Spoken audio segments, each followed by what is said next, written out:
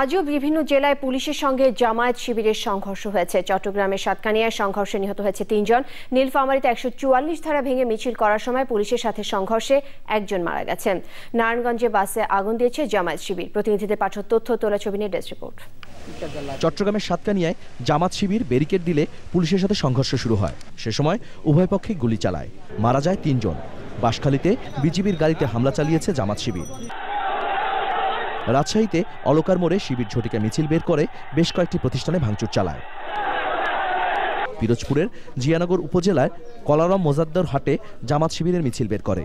সে সময় তারা জমাদ্দার হাটে আওয়ামী লীগ অফিস ভাঙচুর করে। সিলেটের আম্বরখানা থেকে চৌহাট্টা পর্যন্ত জামাত শিবিরের হামলায় দুই সাংবাদিক সহ আহত হয়েছে দশজন সে সময় দশ থেকে পনেরোটি মোটরসাইকেলে আগুন ও দোকানপাট ভাঙচুর করে জামাত শিবির। কুমিল্লায় জামাত শিবিরের কর্মীরা ঝটিকা মিছিল বের করে হাসপাতাল হাসপাতালের নামাজ ঘর অ্যাম্বুলেন্স ব্যাংক বুথ ও ফিলিং স্টেশনে ব্যাপক ভাঙচুর চালায়। এছাড়া পাবনা ফেনী ঝিনাইদহে ভাঙচুর চালিয়েছে জামাত শিবির। নীলফামারীতে একশো চুয়াল্লিশ ধারা ভাঙতে গিয়ে গুলিবিদ্ধ হয়ে একজন মারা যায়। National desk channel